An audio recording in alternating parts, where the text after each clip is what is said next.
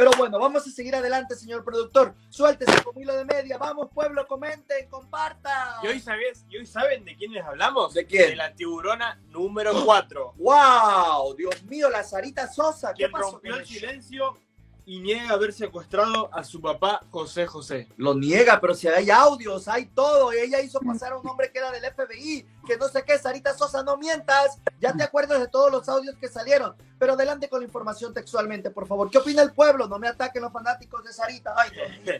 Bueno, hizo frente a los señalamientos en su contra sobre el supuesto secuestro del cantante meses antes de que se muriera.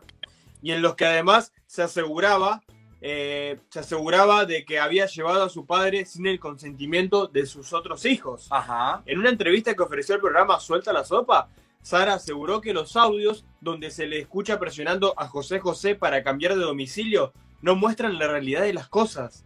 Según contó, fue el mismo intérprete quien le pidió ayuda. A ver, párese ahí, señor productor, por favor, y siga, va a seguir leyendo ahorita. Ábrame pantalla, señorita directora, y vamos a abrir debate. Música de tensión. Sara Sosa, deja de mentir porque siempre ha sido una tiburona bien mayor y bien mentirosa. Se dieron a conocer los audios en el pasado donde tú decías claramente y le estabas tú puchando a tu papá que tenía que firmar y que se tenía que ir y que no tenía que quedarse en México y que, que tenía que irse que porque tú estabas preocupada por él. Prácticamente lo envolvaste, le diste coco watch, le, lo le exigiste, lo presionaste, estando él en una situación muy difícil de salud. Salieron y se dieron a conocer los audios. Era tu voz que estaba ahí. O sea, que no quiera mentir ahora, mi querido Pierre, y que se la quiera poner su cara de ya sabes qué, porque ella siempre pone su cara de P, P, P, P.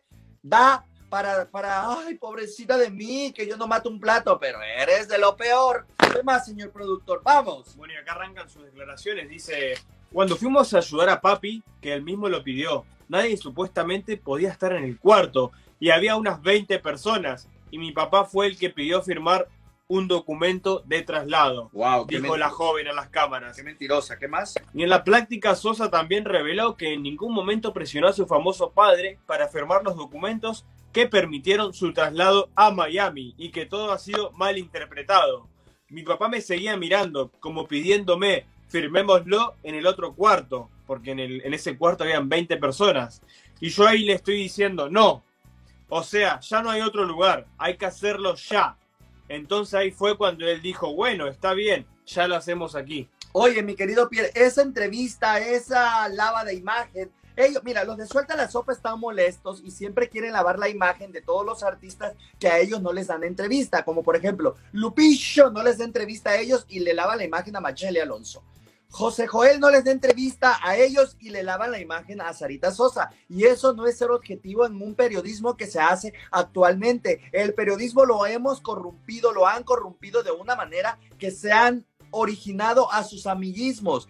Porque exponen y ponen en un, en un aire a ella que mienta, porque las cosas como ella las está diciendo no fueron así, porque tanto José Joel como Marisol y la señora Núñez Laura Núñez presentaron pruebas de cómo ella hizo todo el traslado en la ambulancia y todo, cómo se llevó a José José. Ahora que no venga a decir que, que su papá se lo pidió. No sé qué opines tú, la verdad. Ay, La verdad es triste porque claramente encima que ya hay pruebas, encima que ya hay puntos, o sea, donde detallan todo claramente y que ella venga a dar nomás una entrevista. Y claramente como bien dices tú, aquí está el amiguismo, aquí está el punto en el cual el programa también se presta.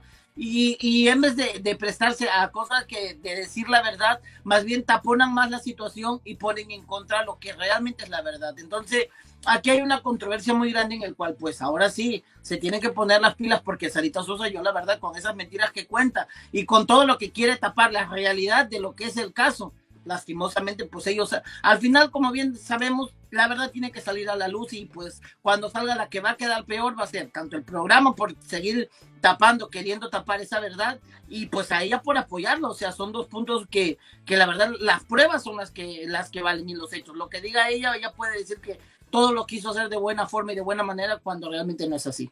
Exactamente. Y mira, nosotros hemos rechazado tantas entrevistas de muchas personas que nos piden que les lavemos la imagen. Y yo pienso que eso no es ser objetivo, eso no es periodismo, que solamente por conseguir una entrevista con un artista, como por ejemplo conseguir una entrevista con Mayeli, conseguir una entrevista con Sarita Sosa, y para que les den la entrevista, ellos acceden a lavarle la imagen al artista, yo no creo que eso sea periodismo, eso se tiene que terminar ya. Cuando van a tener a un artista enfrente y le quieren la, la, tienen enfrente, tienen que preguntarle lo que el pueblo quiere saber, lo que el público quiere saber, porque esa entrevista estuvo llena de mentiras.